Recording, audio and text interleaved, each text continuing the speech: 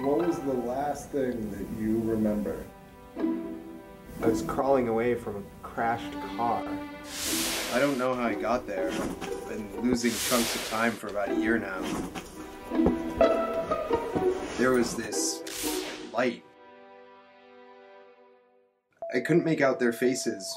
One of them was saying something, but the voice was distorted.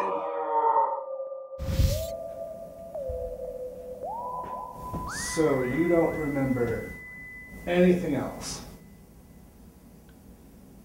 Not from this most recent. I, I, I don't even know who you are. Okay, let's start from the beginning then.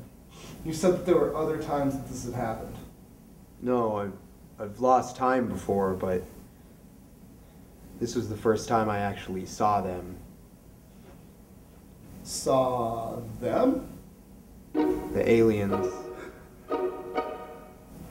okay then, um, let's start with another incident. I was at my buddy Terry's house. We were just playing pool.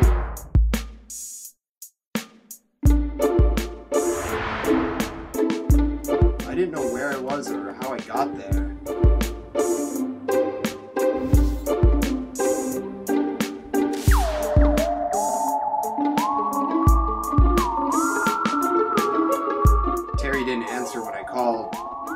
I'm not even sure how I got home. Okay. Here's what I don't get.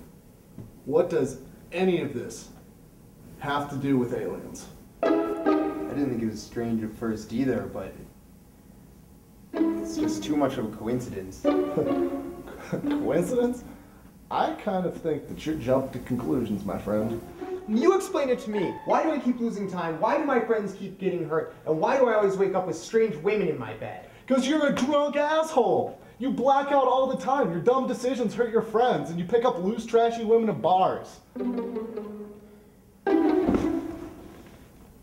So I'm not part of a breeding experiment? No! Those aliens that showed up at your car crash?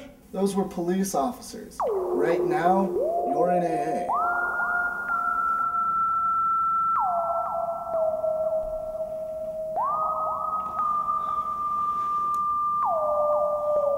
Oh, shit.